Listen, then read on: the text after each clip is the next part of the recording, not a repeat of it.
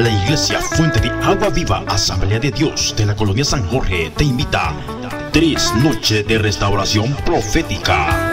Los días 13, 14 y 15 de mayo, hora 7 de la noche en adelante, con el predicador, Pastor Oscar Donay Domínguez. Y en alabanza, la salmista Kimberly Domínguez. A la cima, a lo alto me aferraré a tu palabra. ¿Cómo no? Invita a Pastor Irán Castro Zavala. No faltes